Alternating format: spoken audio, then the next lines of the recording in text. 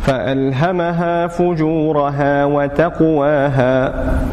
قد أفلح من زكاها وقد خاب من دساها. كذبت ثمود بطغواها إذ انبعث أشقاها. فقال لهم رسول الله ناقة الله وسقياها فكذبوه فعقروها فدمدم عليهم ربهم بذنبهم فسواها ولا يخاف عقباها الحمد لله رب العالمين والصلاة والسلام على سيد الأنبياء والمرسلين وعلى آله وصحبه ومن استنى بسنته إلى يوم الدين.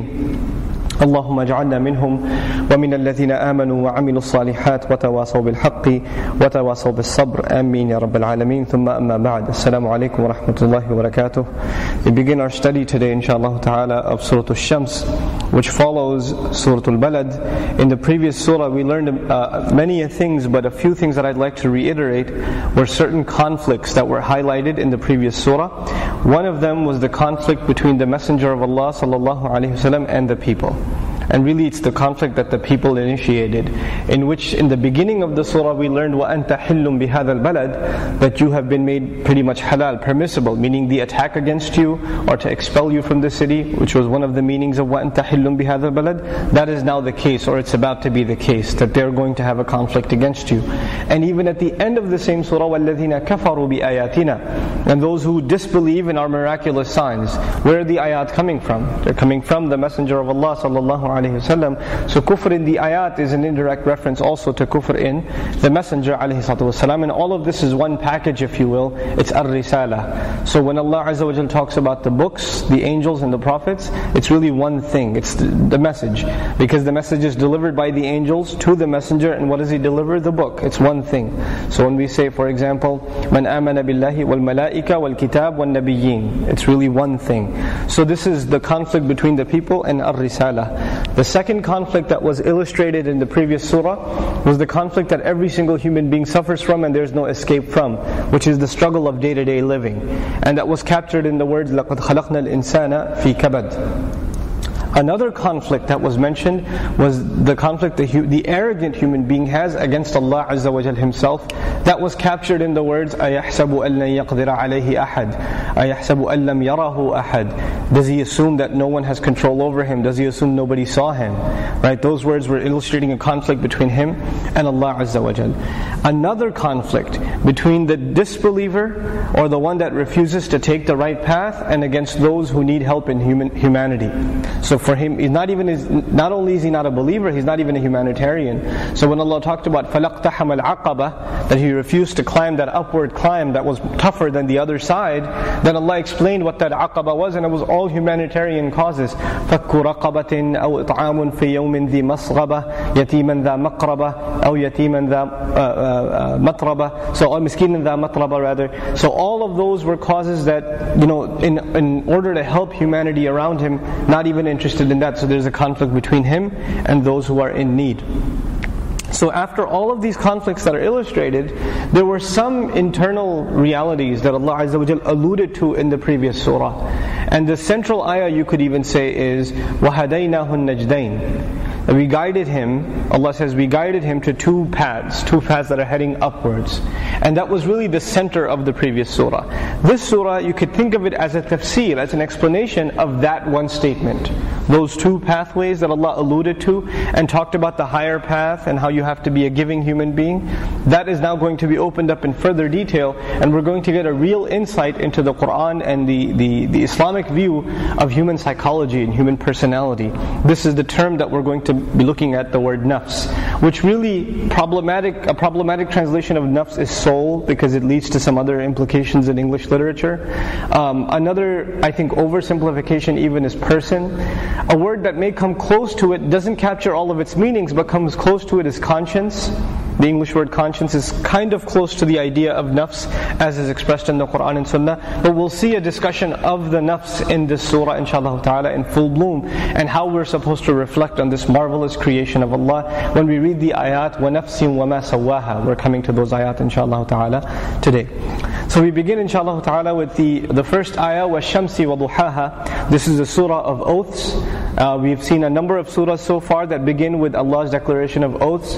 There's one opinion about the oaths that I did not share that was held by a, a minority of scholars, yet it is still there, that every time Allah takes an oath by any of His creations, there's hadf of a mudaf, meaning there's a word that hasn't been said that is understood. And that is the word Rabb. So when He says Washamsi, they understand this as Warabbi Shamsi, by the Lord of the sun. So for example, when He says Wal Asr, what He means is Warabbil Asr by the I swear by the Master, the Lord of time, etc. So that's another opinion that I, I, didn't share with you in the past, that has existed in, in, in, our tradition. But for the most part, that has not been taken. For the most part, we look at these oaths in and of themselves, and the Sunnah is that when we take an oath, we take it by Allah. But when Allah has takes the oath, He has the right to take it by whatever He wills. Okay. So Allah Azza wa swears by the sun, wa shamsi, but then He adds waduhaha. And I, I, swear by the sun and by its soothing morning light. The definition of duha is two things. It, some have called it daw'u shams also, the light of the sun. Others have called it the entire day. But the majority opinion comes from the linguistic analysis of it. Like Ibn Abbas, for example, says, وَالْمُرَادُ إِذَا أَشْرَقَتْ وَقَامَ سُلْطَانُهَا Meaning when the sun comes completely out, and it's not you know it's not early early morning where it's not completely manifest but it's out so you can see the sun. And but it's not difficult for you to, look at the sun either. It's the soothing time of sunlight. It's not the scorching sun it's the soothing sun. Now interestingly i want i'm not going to explain it fully but i want uh, food for thought as we continue inshallah. Allah did not just swear by the sun that has that property. He took two distinct oaths. He doesn't say for example washamsid dahiyah the brilliant sun. I swear by the soothing sun. He didn't say that. He said, I swear by the sun and separately, wa duhaha, Another oath that I swear by its morning light. And I swear by that, uh, its, its ability to give that morning light. So, two aspects the sun itself and one of its contributions. You could think of it like that. You could think of al-duhaha as one of its contributions. أي ضوءها وإشراقها When explaining uh, duhaha, Mujahid says أي ضوءها وإشراقها its light and its morning of إشراق وأضاف الضحى إلى الشمس لأنه إنما يكون عند عند ارتفاعها He says that this was attributed with the sun because it only happens due to the sun. The word duha, that light, is not attributed to any other kind of uh, source of light. Like you can't use duha for a torch or a lamp or anything like that. It's an exclusive feature of the sun. وَالْقَمَرِ إِذَا تَلَاهَا and I swear by the moon, you could say in simple English, إِذَا تَلَاهَا the word tala in Arabic has two origins. It's tala yatlu tilawatan and tala yatlu tilwan. And tala yatlu tilawatan means to read. And tala yatlu tilwan means to follow along, follow right behind something. So wal qamari idha talaha and the moon as it follows it and continues to follow it. There's repetition, takrar in the word tala also. So the, Allah swears by the moon as it follows it. Now what does it follow? What is that it? It is the sun. The ha referring to the sun. Now, notice in the previous oath, there were two features, and there was a wa separating them. That was the sun itself and its soothing light, its ability to produce that soothing light. The second oath is one thing, the moon itself, and it's not given a unique entity, it's given this subservient position, إِذَا تَلَاهَا I swear by the moon as it follows the sun. Some ulama commented these are the first 15 days of the month, and other opinions have also been uh, given about the implications of idha talaha. But we'll go to some straight, uh, straightforward and uh, very direct implications of this statement of Allah Azza wa Number one, as a Shawkani comments, as Ujaj also says, talaha hinastadar, meaning it follows the sun especially when it becomes full, meaning it's a fully circular moon. That's the time when you could see that it's really following the sun. And what do they mean by following the sun? فكان يتلو الشمس في الضياء والنور يعني إذا كمل ضوءه فصار تابعا للشمس that when its light becomes complete it is following the sun in other words it's reflecting the light off of the sun this is even an opinion among our salaf في الإنارة وقال الفراء الفراء also says تلاها أي أخذ منها that it ta- when Allah says the moon follows it it means he take it takes from it now how does he explain takes from it أن القمر يأخذ من ضوء الشمس that the moon takes from the light of the sun.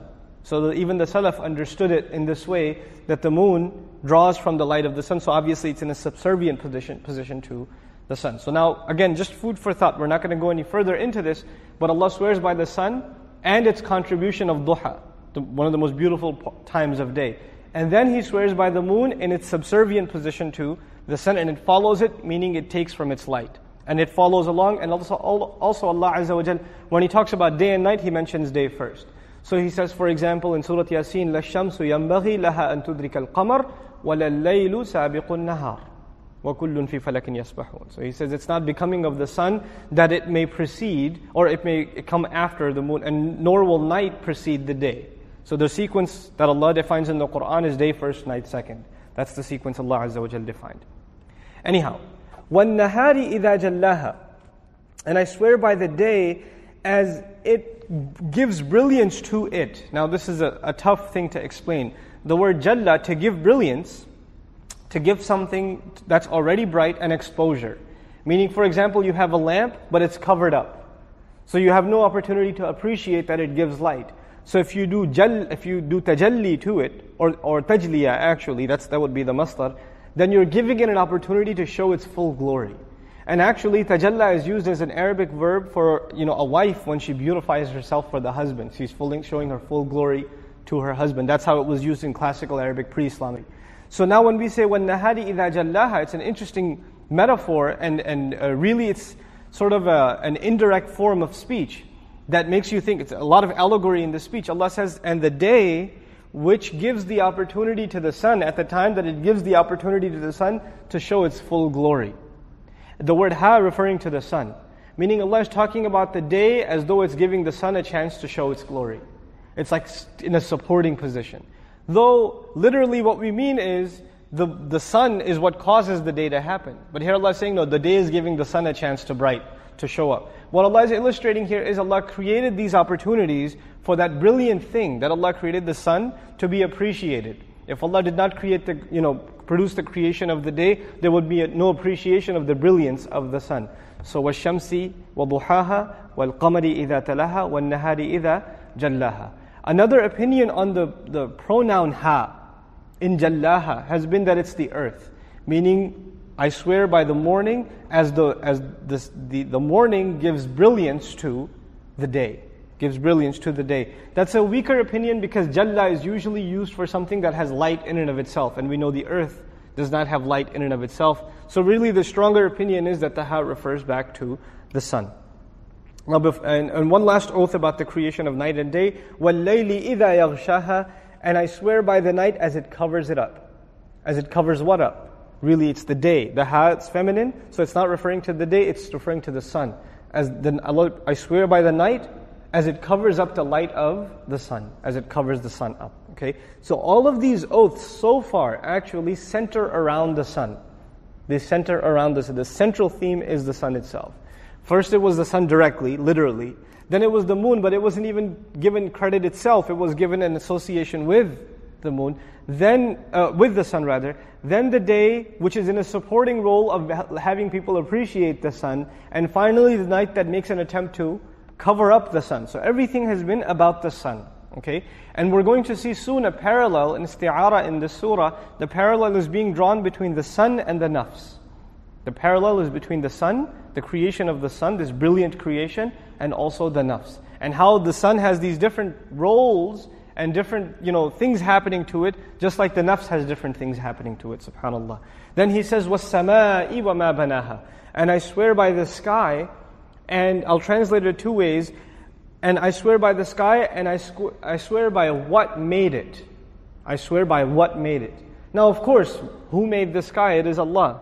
So you would expect who made it. But the wording here is what made it. This would be called ma al mawsula in Arabic. Okay, if you interpret, some mufassirun has have interpreted this ma as ma al mawsula, and then the translation for us would be I swear by the sky and I swear by what made it. What referring to Allah, which seems kind of inappropriate, right? Because you would use man banaha, but you have to understand this in a little bit deeper sense. You know, you don't. You say for someone you don't know, you say who is he right? You say, Who is he? But sometimes you also say, What is he?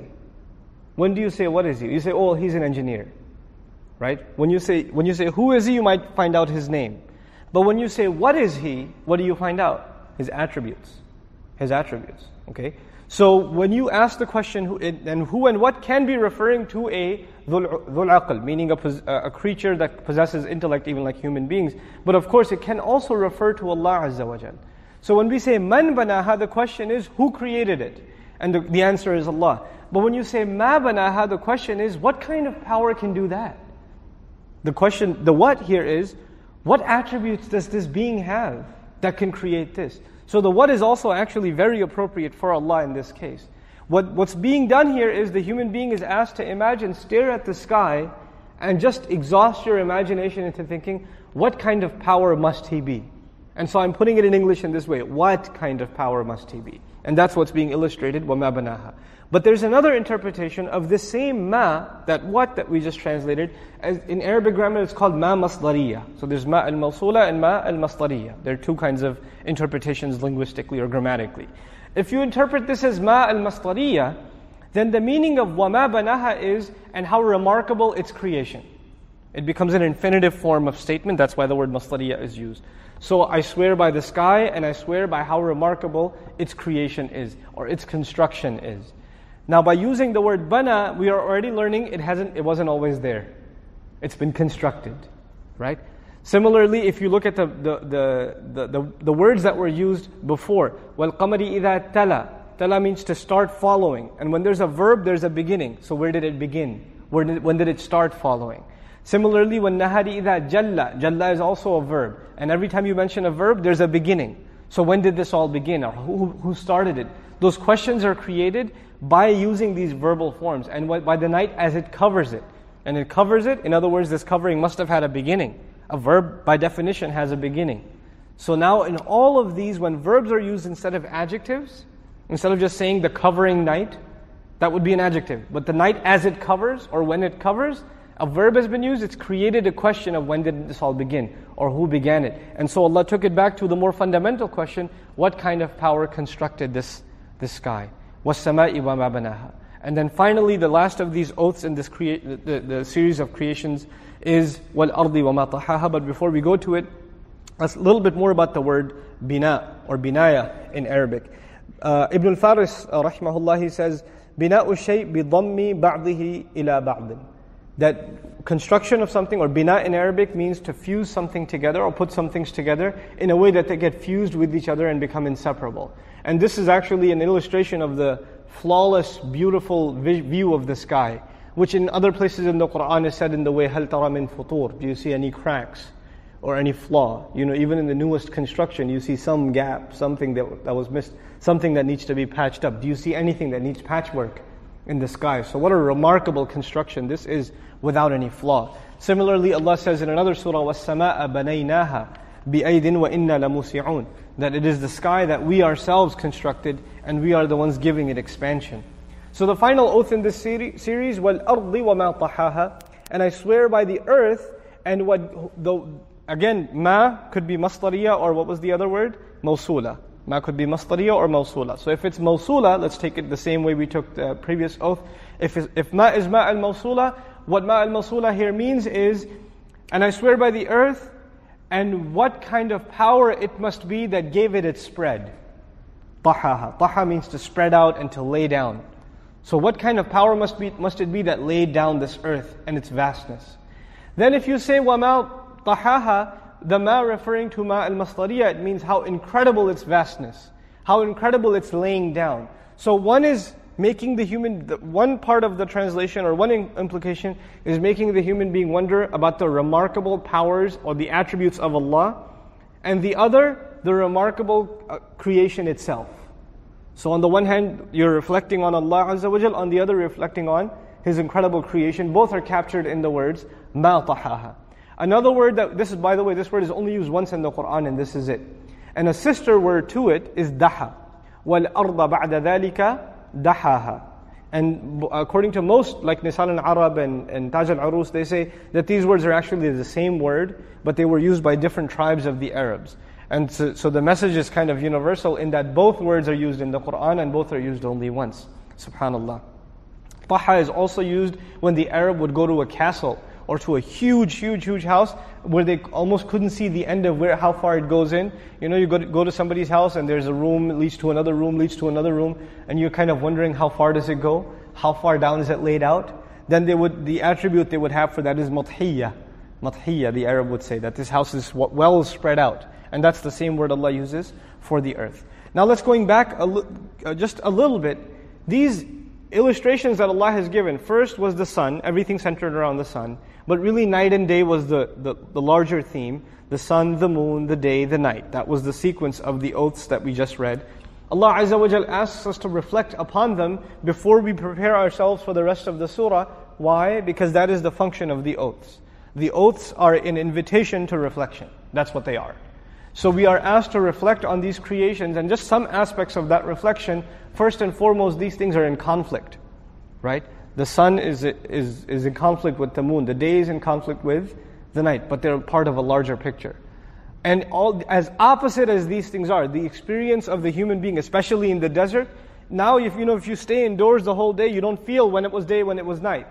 You could not even realize. If, for example, you're in an office building with no windows, you won't know when it's day, when it's night.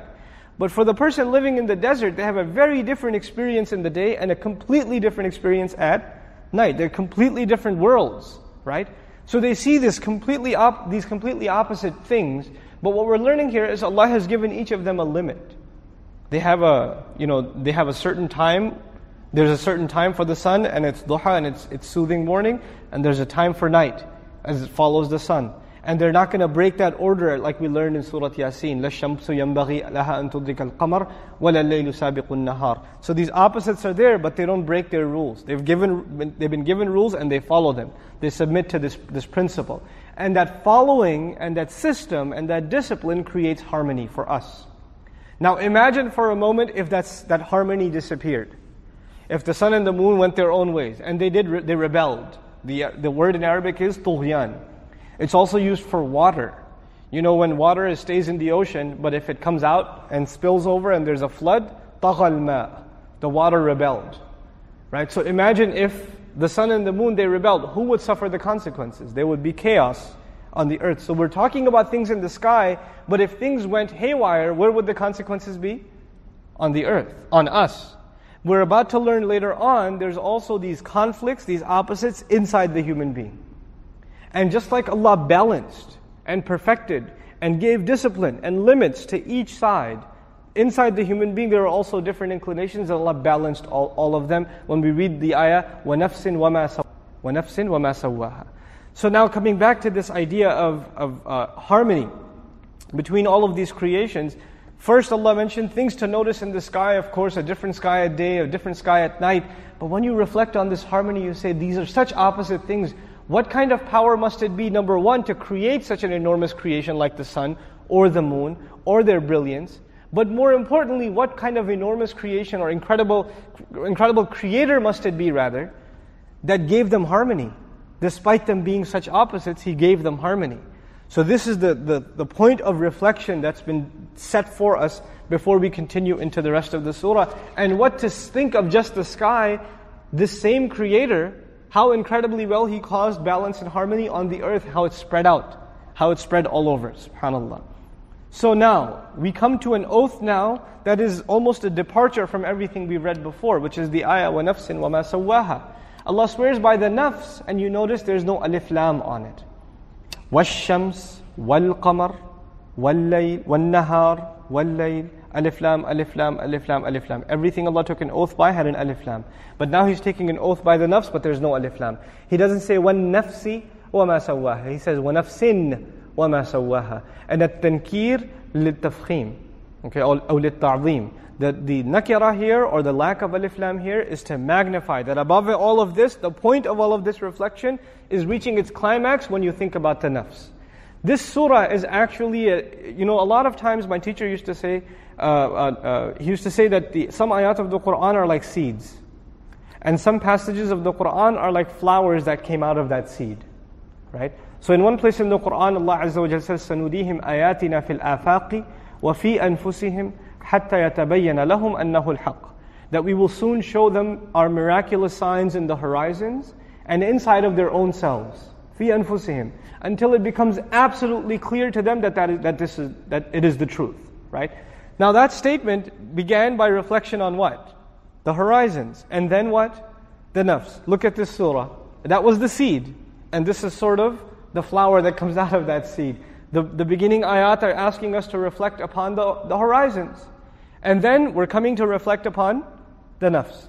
وَنَفْسٍ وَمَا سَوَّاهَا And the nafs, and the, again, the conscience, if you will, but really person, and it has more to, you know, I say conscience with a disclaimer because the word conscience in English literature and our speech also is typically used not when you want to do something bad, but it's used either, you know, I have a clear conscience, which means I am, you know, I don't feel bad about anything I did, or I have a guilty conscience, right? But you don't really use conscience when you want to do something bad, like I have an evil conscience. Actually, the word for that is you have no conscience.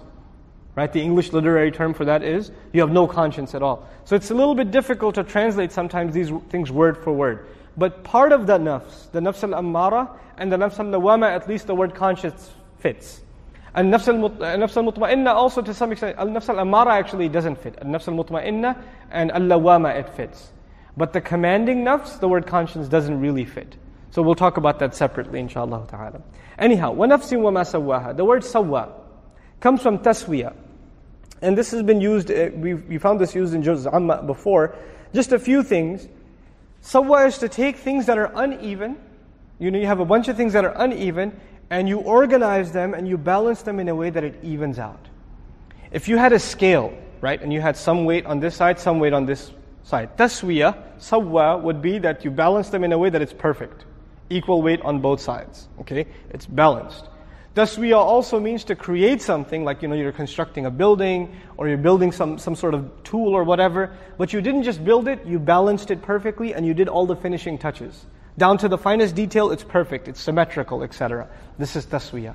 Allah asks us to reflect, not only do I want you to reflect on the, on the nafs, the nafs itself, meaning yourself, your conscience, but in addition, how remarkably well it has been balanced.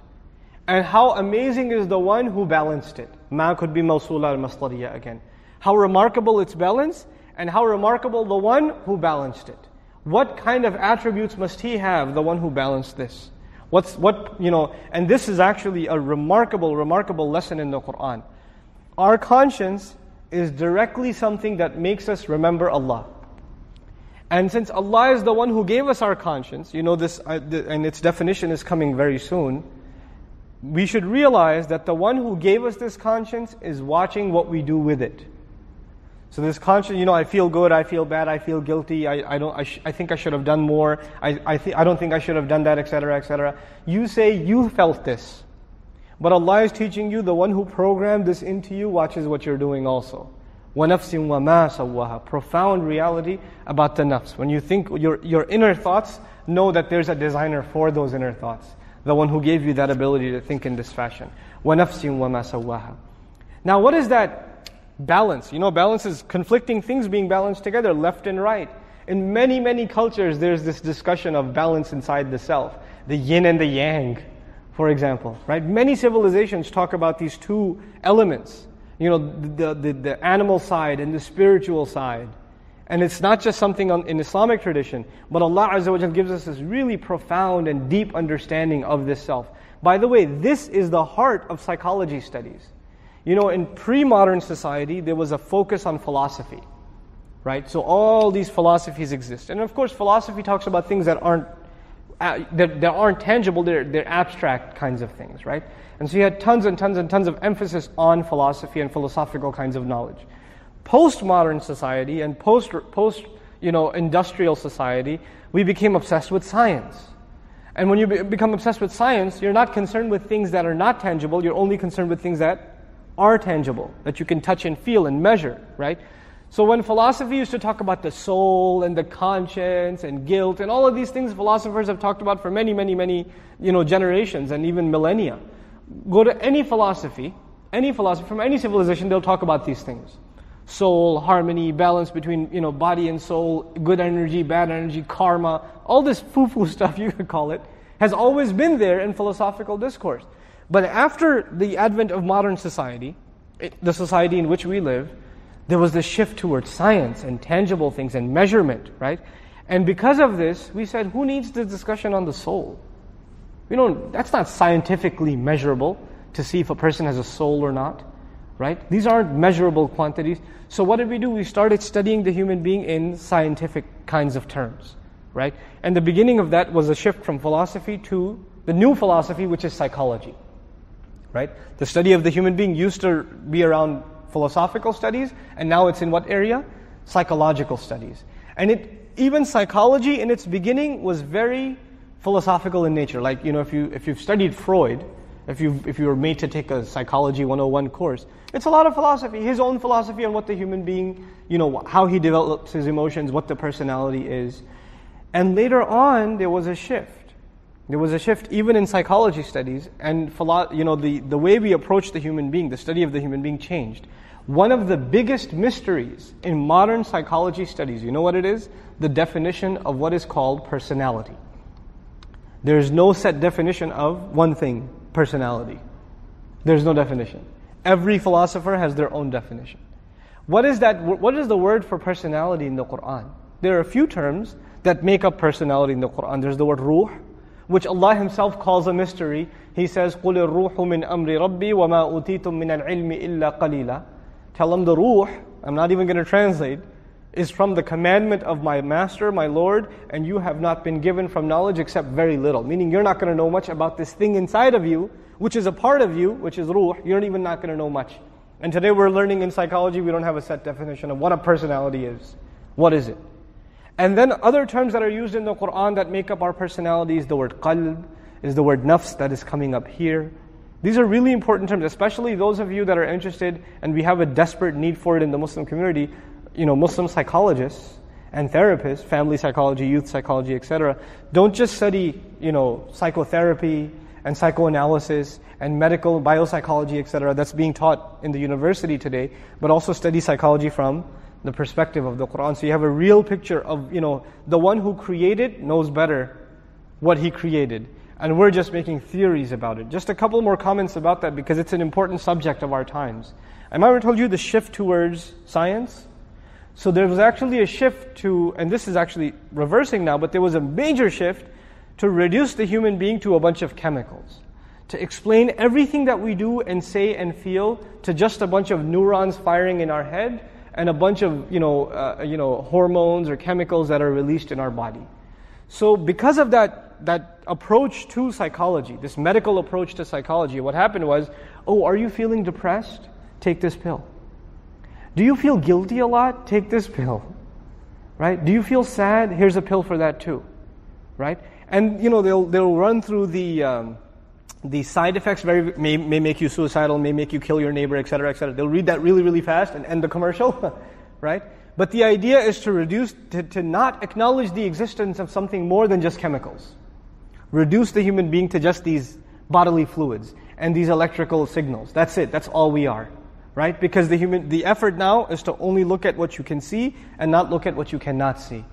But this nafs is a mysterious thing. Allah gave it to us inside of us, and it's not something physical, right? The human being is made up of physical and, you know, uh, intangible, tangible and intangible. The ruh cannot be touched, cannot be felt. You can't put it inside a jar. It's not something like that. It is from the amr of Allah. The body is something physical. And you know, the analogy that, like Al-Biqa'i commented, Allah parallels the nafs with the body, just like you parallel the sun with light. Because light, you know, you, you don't touch it, right? But the sun is something tangible in and of itself. So he talks about these, these two things being fused together. Anyhow, so Allah says, وَنَفْسٍ وَمَا سَوَّاهَا And how amazingly well He balanced it. Now, of course, the balance is there's inclination towards good inside us and there's inclination towards evil inside us balance that's been talked about in other uh, the ulama that talked about it at length. For example, Al-Alusi rahimahullah says remarkable things on this subject. We, the human beings, when Allah Azza wa created us, when He created us, He created the, the clay and He blew into it the ruh. And the clay that He created, the soil, we, we were created from material that belongs to this earth. You could call it organic matter nowadays, right? What are the things that we desire in this world? All of them come from the earth. Right? We desire companionship, wealth, food, etc., shelter. All the things come from this earth. We were created from this material, and all of our needs and desires are also made of this material. Okay? But then there was something put inside of us that is not this material. Something was put inside of us that came from the amr of Allah. The ruh. The ruh. It is not from this material. Now the body feels hungry and the food comes from where? The earth. Because the body is also from the earth. But then Allah put inside it a ruh. But the ruh is not from the earth. It came directly from Allah and it also feels hungry. And when the ruh feels hungry, where does it food co- has to come from? What's the only food that will satisfy it? The only food that will satisfy it is that comes from revelation. Right? So this is a profound philosophical, if you will, reality of the human being. We're made up of two things. And these two things are in conflict like night and day. These two things are in conflict like the sun and the moon. They're very different things. The body wants its own things and the ruh wants its own things. And they're pulling the human being in two opposite directions. They're pulling the human being in two opposite directions. Now, traditionally there have been societies of imbalance. One imbalance, one imbalance is a society that is completely immersed in pleasing itself. All their whole concern is what? The body or the, the ruh? I won't even say soul. The body or the ruh? They, their concern becomes the body. How do you beautify it? How do you give it more luxury? How do you please it more? How do you give it more fame? Etc. Etc. Etc. And as when this balance occurs and you're overfeeding one, what are you doing to the other? You're starving it and choking it. You're killing it. And on the other hand, there was another extreme, for example, in the Christian tradition, especially the Catholic tradition, of monasticism, right? And becoming monks. What you do is the body is evil. Its desires are evil. We're not going to get married. We're not going to wear comfortable clothes. We're, we're going to keep ourselves in pain. Right? This even happened in Muslim tradition. Some of the ulama, they would wear, or I don't know if you'd call them ulama, but they would wear really uncomfortable clothes that would like, you know, like cause irritation on the skin. And they would say, this is because we don't want any pleasures of this dunya. I guess the heart was in the right place, but it was a little too far in the right place. Imbalance. Imbalance, right? These are two extreme imbalances. One directed completely towards the body, the other completely directed towards the soul. But Allah made us of two things. He made us of two things, which means He expects from us to give justice to what? Two things. Which is why, while Allah talks about the obligations we have to our ruh, He also says, وَلَا تَنْسَ نَصِيبَكَ مِنَ الدُّنْيَا don't forget your portion from where? This world, worldly life also. The obligations you owe in this world and the, obliga- the rights that are owed to you, don't forget them either. So we're this composite of two things. We're this composite of two things. Now, if I had a like a chart, I'd give you a little bit of a diagram. I want to paint this picture because this is one of the most important places in the Quran where this picture should be painted. You know, at the center of the discussion of iman and kufr is the word qalb, heart. That's the word, that's the, at the center of this discussion in all of the Quran. And Allah says that the Quran is the location, and I'm, I'm talking about the Quranic version of human personality now, okay? That's why I'm bringing this up. At this, at this location, Allah mentions a few things. He mentions diseases, right? Diseases that are in the heart. So, fi qulubihim maradun, right? That, that's mentioned also. In this heart, there are also mentioned desires, desires. Fears are mentioned here. Love is mentioned here, right? Hate is mentioned here. Anger is mentioned here. Jealousy is mentioned here. So emotions are also mentioned associated with the heart. Diseases are mentioned with the heart, emotions are mentioned with the heart, faith is mentioned with the heart. Iman, وَزَيَّنَهُ فِي قُلُوبِكُمْ He beautified Iman in your hearts. When Allah mentions Iman and Kufr, and people refuse to believe, Allah says their hearts have become hard. ثُمَّ قَسَتْ قُلُوبُكُمْ Hearts have become hard. So Iman and Kufr is inside the heart. Desires are inside the heart. Emotions are inside the heart. Diseases are inside. This is really the center. This is the center. Now, what are the things that affect this heart? This heart has, you could say, it has two influences. Two influences. One influence is from the needs of the body, and the other is the needs of what? The soul, right? If it listens to the body the whole time, what happens to the heart? It becomes hard. If it listens to the soul the whole time, it is doing injustice to its body. There's another imbalance. There's another imbalance. Now, what influences you know, these two influences that are trying to win over this heart. The heart is the territory, and you have to share this authority, right? This is the castle you want to win over. And both of these sides are fighting inside of us, right? How do they both advertise to the heart? Allah Azza wa mentions in sam'a wal basara wal fu'ad. Hearing and listening, hear, hearing, listening, and seeing. And then he mentions the heart. So how does the message of the world, the bodily desires, how do they enter us? How do they reach us? Either we see what we desire or we hear about what we desire. And how does the, the needs of the ruh, how do they reach us? We see the truth and we hear the truth, right? So the, these two mediums are the ones by which the truth is coming to us. Also falsehood is coming to us, to us. Now, revelation is called light. Revelation is called light. Iman is also called light. There's a light inside of us, which is the fitrah that Allah created us with, and there's the light of revelation. When you hear the revelation, it's like, you know, even though it's hearing, the image is that of light entering inside of you. Revelation is light, so light has entered inside of you. And what's already inside, if you are, you're a good person, your fitrah is still intact. Light is inside of you. So when these two lights come into contact, Surah An-Nur describes it and it says, Nurun ala nur. Light upon light. The light of revelation and the light of goodness that's already inside of you, inside your heart. Right? These are the two lights that are meeting. Now, in describing this conflict, the word for the Quran is nafs. This conflict that we just talked about, the word that describes that conflict is the nafs. The nafs is being pulled in two directions. When it goes too far in one direction, it starts feeling bad. It starts feeling bad. So it becomes a nafs al-lawama, a blameworthy nafs, a guilty nafs. Then it pulls itself back and makes tawbah and istighfar and returns to a balance. And what does it become again? A nafs al-mutma'inna, the tranquil conscience, the conscience at ease, the conscience at ease. But it doesn't, it never stays that way. It's constantly being pulled towards the direction of the body. Now, what are we, what are we exposed to more? The, are we being, are, is more of the desires of our body being advertised to us, or more the needs of our soul, our ruh, being provided to us? Obviously, the body. The dunya is bombarding us constantly, right? So Allah mentions an-nafs al-ammara. Okay? Inna nafs la-ammaratun bis-su. No doubt the nafs, it commands to evil. The way Allah captures this, that in this surah, it's incredible. He says, فَأَلْهَمَهَا then He placed inside the nafs. Put, it, some, put something inside its heart. Ilham is to put a feeling in your heart that is more certain than fact. You know, in English literature, we call it a gut feeling. That's what that is. Ilham is a gut feeling. I just know that it's right. I just know we have to take a left, for sure. you know how you're really, really sure sometimes? That's ilham. And this is a word used more generally than wahi. Wahi can be used for animals or human beings. Allah even uses it for the bee. Awha ila nahl. But ilham is only used for creatures of intellect when they become firm about something. And Allah is telling us that He puts something inside of us that is this ilham. This is a gift from Allah Azza wa Jal. What is this ilham? Fujuraha wa taqwaha. Is amazing.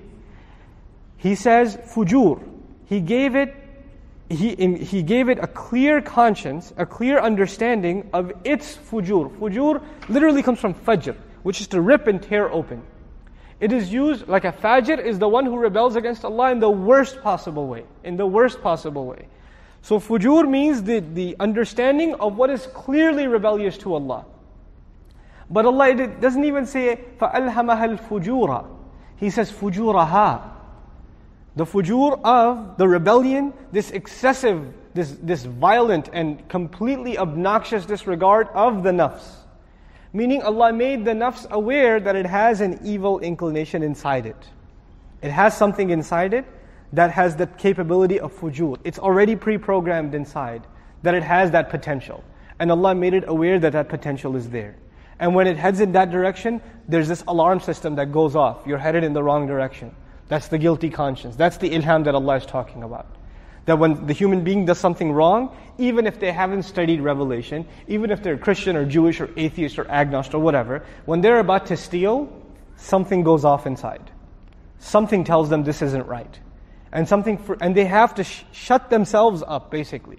They have to stop listening to themselves. You know, cartoonists used to do this, right? Cartoonists, they're depicting this guy's about to go kill somebody, and this, and this guy comes up and says, "Don't do it."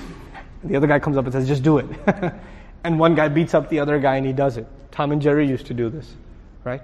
But these are illustrations even in contemporary culture of the same concept that Allah made the human being aware inside of himself that something is wrong.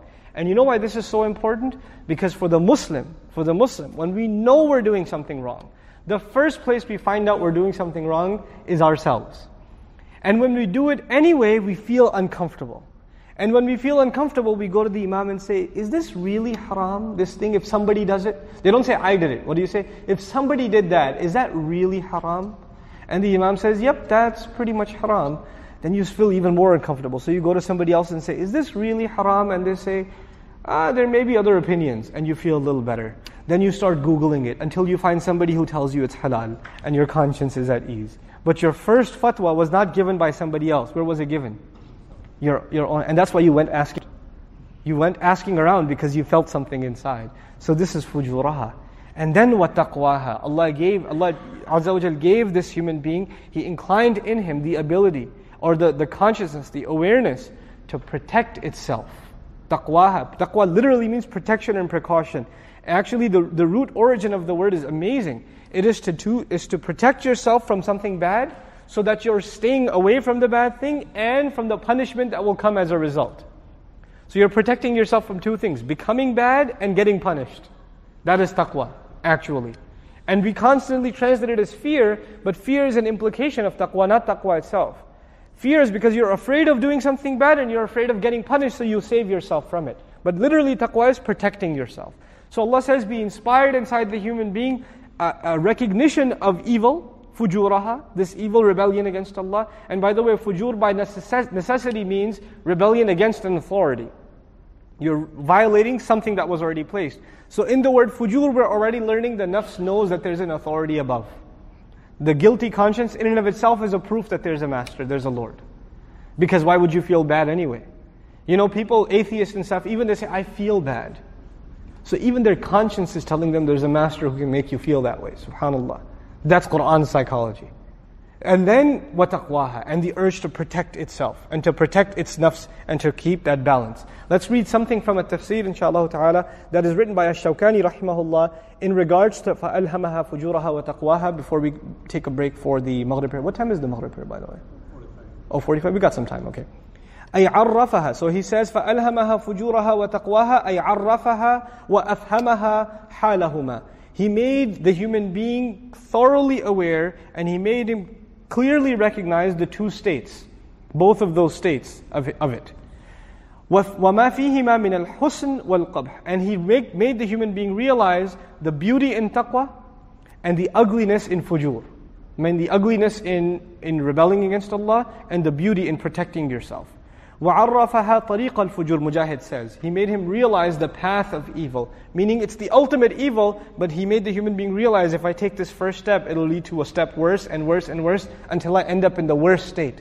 So you know how people say sometimes to ease their conscience, what I did wasn't that bad. At least I didn't kill anyone. Right? People say, make excuses like that, meaning in order to justify their bad behavior, they compare themselves to someone much worse. It's not like I robbed a bank or something. It's just riba, etc. Right? So what you do is you compare yourself to worse. But in your conscience, the fact that you said that, you know that this is leading to worse. Meaning you do something a little bit bad and you let the crack open and some comes through and more is bound to happen and the crack's going to start getting bigger and bigger until the dam is broken and the flood waters come through. Subhanallah. This is why Allah protects the believers when He says, "Udkhulu fis silmi kaffatan." Enter into the fold of Islam totally. Don't let any cracks because even a little bit of crack, what's going to happen over time?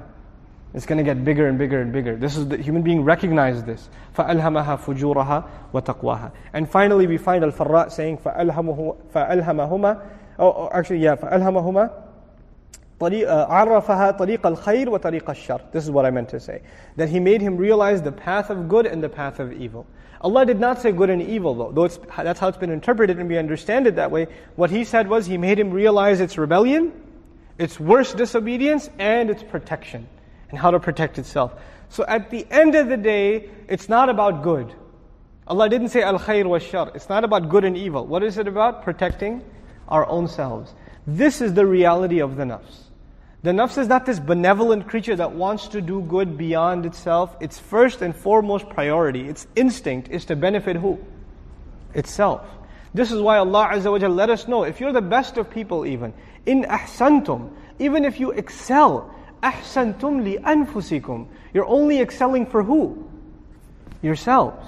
Yourselves. In modern ethics, there's this idea of I don't need a heaven and hell to tell me what's good and bad. I'm pretty good in and of myself. I can do good things. You know, even an atheist and whatever can do good things and give in charity and all of that stuff. Why though? Why do they do that? Because in the end, who feels good? They themselves do. It's something for their own nafs that they do. It's something to, to ease their own conscience, subhanAllah. So now, in the previous surah, we found Allah gave us lots of abilities. Alam naj'al lahu aynayn wa lisanan wa shafatayn, right? Didn't we give him two eyes? Didn't we give him, you know, a tongue and, and two lips, right? And now in this surah we're learning, if your nafs is in the right place, you will use the, those eyes for the right things. And you use your tongue and lip for those, the right things. But if that nafs is deviated and there's an imbalance, what's going to happen? Those same gifts that Allah gave you are going to be misused. And so when they're misused, you won't go the right way. In the previous surah, we found وَهَدَيْنَهُ النَّجْدَيْنِ We showed him, we guided him clearly to two pathways. And in this surah, a tafsir of that. What are those two pathways? فُجُورَهَا wa taqwaha. Those, two, those are the two pathways. Either the rebellion against Allah or the protection. Yes? Oh, I thought it was 45. Maybe Iqamah is. Okay, so inshallah ta'ala, we'll, we'll stop at this point and we'll take a break. And when we come back, bi'idhnillah, we'll complete our study of Surah Al-Shams. Barakallahu li wa lakum. Assalamu alaikum wa rahmatullahi wa barakatuh.